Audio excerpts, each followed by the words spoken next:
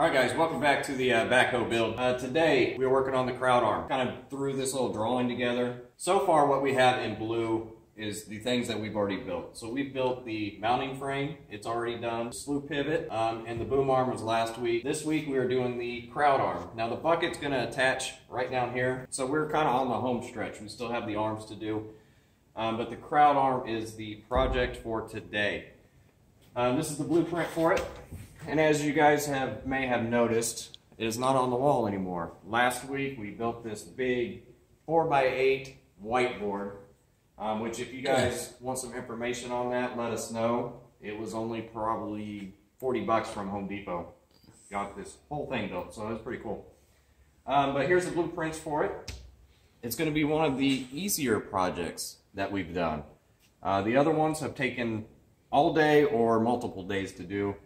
This one, probably half a day to get this one done. So um, with that being said, let's jump into it. You know how we're gonna do it. We're gonna cut some metal, weld it together, show you what it looks like when we're done. Let's go.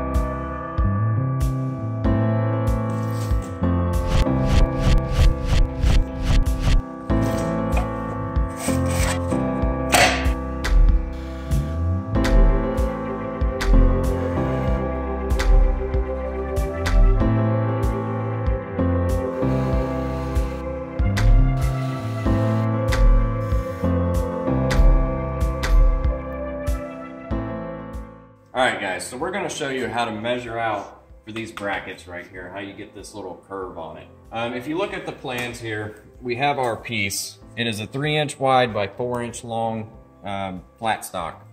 So this is the detail that we're going to go to right here that's going to show us how to get that curve. Alright, so on here you see an R one and a half. So that's that radius right there. So to find that, you have to find this little crosshair right here. Don't worry about the circle right here. There's another crosshair in the middle of that. That shows you where you need to drill that hole, the center point for that hole. We're just worried about this crosshair right here. So to find that, you're going to go up an inch and a half. That's going to be your horizontal line. And then you're going to go from the edge of this over an inch and a half. That's going to be your vertical line. So from there, you're to point it out. Take a, we use a compass, and we just round it off and then you'll draw your line back here. You'll measure an inch straight to there where they match up. That's where you cut it. A compass radius is going to be inch and a half. That's what the r stands for. So set to compass is inch and a half. Yeah and then that'll give you that radius from that point. So here it is on uh, the actual piece of metal right here. So i have the inch line is marked as you saw in the blueprints. And then i drew my inch and a half over my inch and a half up and i put a little punch right there so I can draw my radius. So all you do is you're gonna take your center of your compass, and the compass works the best. You could probably use a string and a nail or something uh, to also, also accomplish this. But you're just gonna take your compass, inch and a half, and you're just gonna round it. So I just kind of draw a little half circle, and then we're gonna connect the lines here.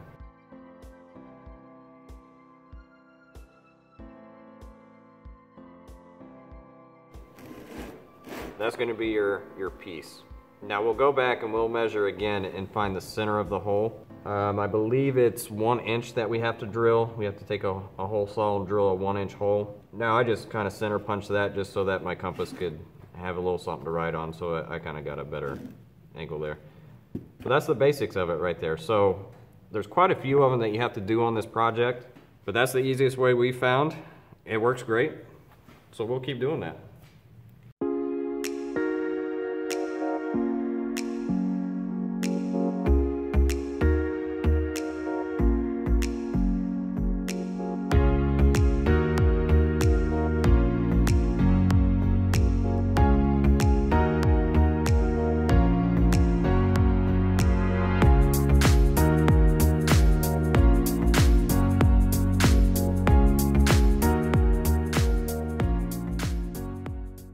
Got our uh, holes drilled, everything sanded down for our brackets. Um, drilled and tapped for our bushings. We got our holes drilled in our crowd arm. Now the fun part. Now we upgraded the size, the width, I guess, or the thickness of this piece of metal here. The plans, if you go with a, a smaller one, you have to actually make a bracket for it. So because we upgraded the size, we can actually cut this metal piece out and use it as a one solid piece so we don't have to do a couple different brackets. So keep that in mind if you do end up wanting to build this. If you go with the bigger size, you can do it all in one piece. And, it, and he explains that in the, the letter that he sent you. So this is what we have drawn out right now. So this little metal piece, we have to cut out and we're gonna weld, I think it's this one here. We're gonna cut it and then we're gonna have to weld it on the inside of this. This is, this drawing, this line here is just kind of for reference what it's gonna look like. It's gonna have a hole drilled into it so we can get the uh, greaser that's gonna be on the inside of this. So the blueprints, I'll show you that real quick. So this is basically all we're doing. Instead of having these little brackets that he has, we've upgraded and it says right here, if you upgrade, you can do it at a, as one piece. So we didn't do those little brackets. So we're gonna cut that piece off. Um, then we're gonna trim and get these uh, little angles that we need and then weld it all together. And that's all we have left. Cut that one piece and just get it all welded. So let's do that.